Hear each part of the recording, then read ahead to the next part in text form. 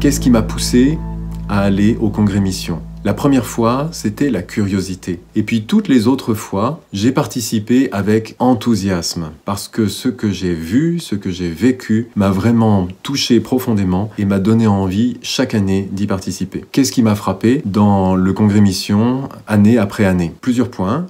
Le premier, c'est la jeunesse des participants. Et ça, vraiment, ça fait du bien.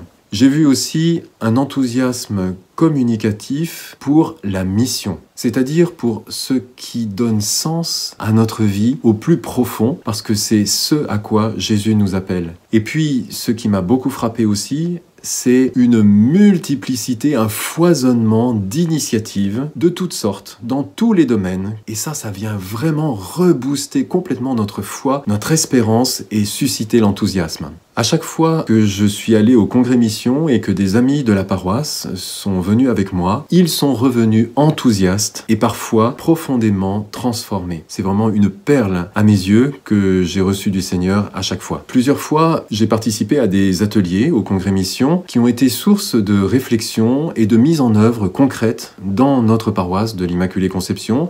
Je constate bien que la qualité d'accueil de notre paroisse euh, grandit. Et pour terminer, je voudrais dire un mot à mes amis prêtres. Vous-même, participez à ce congrès. Vous allez être ressourcés dans votre ministère. Faites le choix d'investir du temps dans ce congrès mission et vous allez voir que même votre agenda va être changé par ce que vous allez vivre, ce que vous allez découvrir et votre ministère va être béni à partir de ce que vous allez vivre. Et puis venez également avec des paroissiens.